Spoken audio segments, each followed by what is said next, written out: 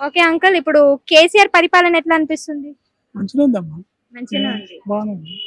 కాంగ్రెస్ ప్రభుత్వానికి కేసీఆర్ ప్రభుత్వానికి ఎలా ఎలా ఉంది? డిఫరెన్స్ ఎలా ఉంది? అంత తేడా ఉందా? నక్కకు నాగలోకి అనుకున్నంత తేడా ఉంటుంది. ఆ- ప్రభుత్వంలో ఏం ఏం ఏం డెవలప్ అయింది? ఇప్పుడు సిటీ ఎంత డెవలప్ అయింది? కానీ రోడ్లు కానీ రైతు బంధు రైతు బీమా కళ్యాణ్ లక్ష్మి షాదీ ముబారక్. ఉమ్, ఎన్ని ఉన్నాయి వస్తున్నాయి స్కీమ్స్.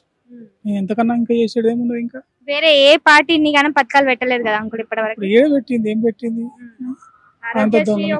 ఆరోగ్యశ్రీ పెన్షన్లు ఇస్తారు పెన్షన్లు కూడా ఇస్తారు ముసలిళ్ళకి ఇట్లా. ఇంటికి తెచ్చిస్తారు అవసరం అనుకుంటే.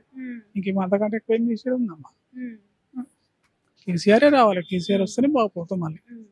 కేసీఆర్కి పోటీగా ఎవరైనా వచ్చే అవకాశం ఏమైనా ఉందా అంకుల్? రావచ్చు వచ్చినా కానీ ఓడిపోతారు కదా. సీట్లు రావు మళ్ళీ కేసీఆర్ వస్తాడు. ఓడించే వ్యక్తి ఇప్పటి వరకు ఇంకెవరు లేరు అయితే. కేసీఆర్ వస్తాడు ఇప్పుడు. మళ్ళీ సీఎం నెక్స్ట్ సీఎం కూడా కేసీఆర్. హ్యాట్రిక్ తప్పకుండా గెలుస్తాడు.